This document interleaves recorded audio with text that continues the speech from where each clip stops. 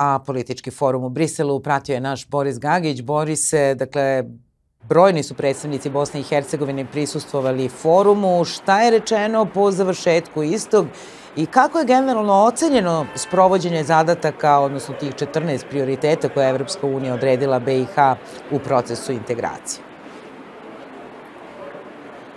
Evropski put Bosne i Hercegovine nema alternativu, rekla je to nakon održanog ovog drugog političkog foruma u Briselu između Europske unije i Bosne i Hercegovine.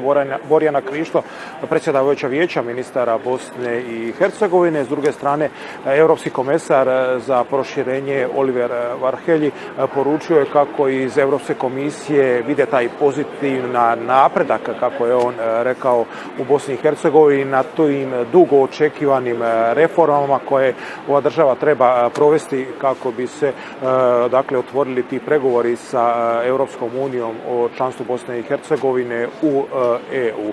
Dakle, bila je ovdje brojna delegacija iz Bosne i Hercegovine od državnog entitetskih kantonalnih nivoa vlasti u BiH pa do distrikta Brčko.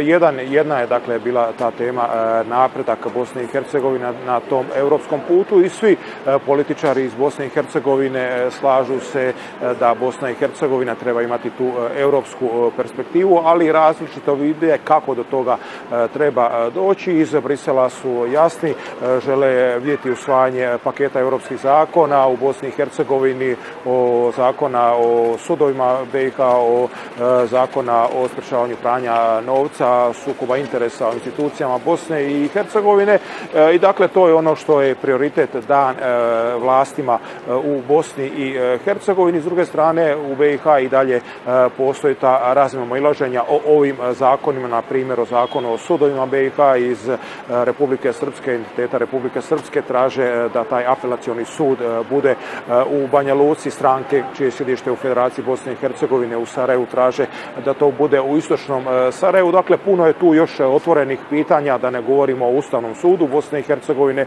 izmenama tog zakona iz Banja Luke traže ultimativno da strani suci odu iz Ustavnog suda, s druge strane stranke takozvane trojke kažu mogu otići, ali tek kada Bosna i Hercegovina bude na korak e, ka pristupanju e, Europskoj e, uniji. Dakle, puno priča će biti dalje o, tom, o toj europskoj perspektivi Bosne i Hercegovine. Iz Brisela kažu ako bude određenog napretka, ako bude pomaka, ti pregovori mogli bi se otvoriti o pristupanju EU negdje u martu 2024 godine. Do tada je puno e, posla pred vlastima u Bosni i Hercegovine koji se vraćaju svojim e, kućama, a ono što Europska unija nudi to je taj financijski paket od 6 milijardi eura e, za sve zemlje Zapadnog Balkana, tako i za BiH, ali taj novac u Bosnu i Hercegovinu doći će isključivo ako se bude radilo na reformama. Puno ti hvala Borise. Drugi politički forum Evropske unije i Bosne i Hercegovine u Briselu pratio je naš Boris Gagić.